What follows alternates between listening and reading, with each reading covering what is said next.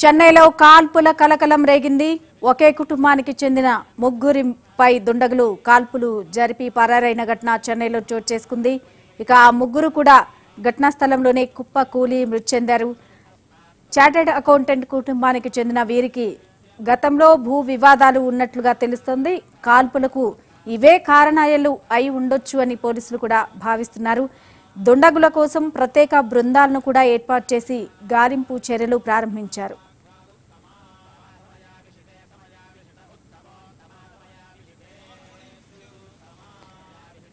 ఘటనపై పూర్తి వివరాలు మా క్రైమ్ బ్యూరో చీఫ్ పవన్ అడిగి తెలుసుకుందాం. పవన్ మరి దుండగులు ఎవరు అనే విషయంపై ఇంకా కారణాలు ఏమైనా తెలిసాయా? అంటే పూర్తి డీటెయిల్స్ ఏమైనా తెలిసాయా? ప్రజెంట్ అయితే పోలీసులు ఎటువంటి చర్యలు తీసుకుంటున్నారు? మరి దుండగుల కోసం గాలింపు చర్యలు ప్రారంభించినట్లు తెలుస్తుంది. ఓవరాల్గా అప్డేట్స్ ఏంటి పవన్?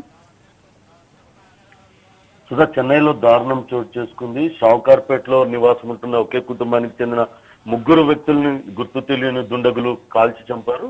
ఫైనాన్స్ వ్యాపారం నిర్వహిస్తున్న తాలిచంద్తో డెబ్బై నాలుగు సంవత్సరాల తాలిచంద్తో పాటు అతని కుమారుడు నలభై సంవత్సరాల శీతల్ డెబ్బై సంవత్సరాల పుష్పాబాయ్ వీరు ముగ్గురు కూడా గుర్తు తెలియని దుండగుల కాల్పుల్లో మృతి చెందారు. తాలిచంద్ గత కొంతకాలంగా చెన్నై ఎనకాపురి గణేష్ మిస్త్రి ప్రాంతంలో ఫైనాన్స్ వ్యాపారం నిర్వహిస్తున్నాడు.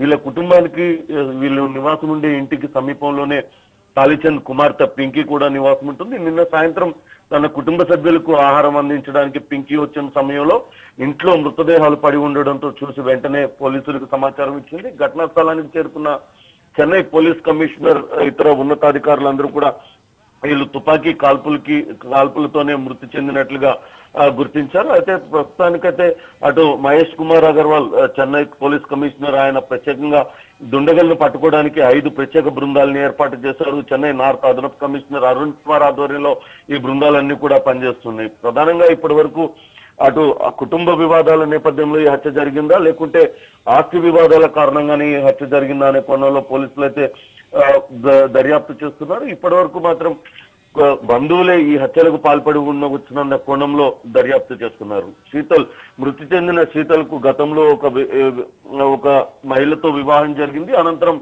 ఇద్దరి మధ్య వివాదం రావడంతో వాళ్ళు విడిపోయి ప్రస్తుతం వేరుగా ఉంటున్నారు.